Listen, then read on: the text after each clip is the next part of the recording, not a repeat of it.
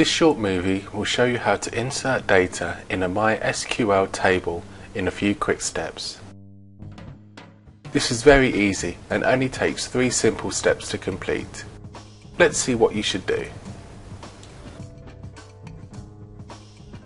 First, you need to log into your personal web hosting control panel.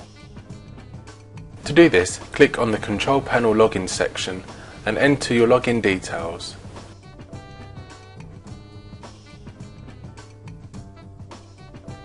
First, your username, and then your password. Now click the login button to open the control panel index page. We have just completed the first step of the Insert Data MySQL database procedure. Now let's continue. Now you should click on the MySQL database icon located in the Site Management section. Okay, we have now completed the first and second steps. This is the last step. Once in the MySQL database management panel, click on the name of the MySQL database or its corresponding PHP MyAdmin icon to open the phpMyAdmin tool.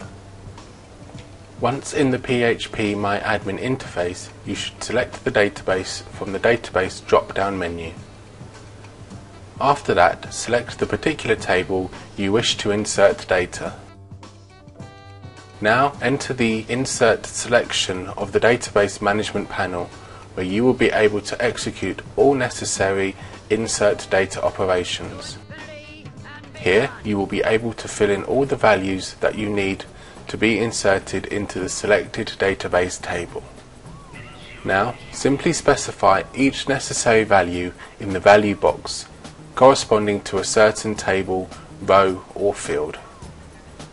In our case, we have a phone book table and are inputting the phone number, the first name and the last name and the address values in the value fields, each one of them corresponding to the particular table row field.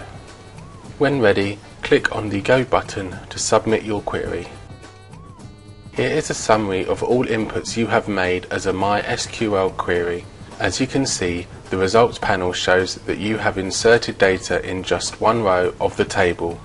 You can also see the names of the row fields filled with the data and their corresponding values. Well that's it. Now you know how to insert data in a MySQL database table in a few easy steps.